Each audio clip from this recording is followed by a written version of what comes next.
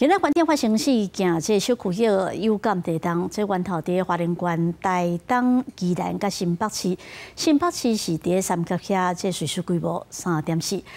台湾气象局的地动预测中心表示，这三级的地动是较罕见，发生的主要原因是这啊菲律宾海板地加这欧亚板地的能量透放。顶次界是伫今年的二月十一，源头是伫台风复兴，规模三点九的地动。迄个时阵三角影有闹一级，这个气象局表示，新设这三角影的地动站小刷一寡啊，这小区域的地动拢测得到啊，台东。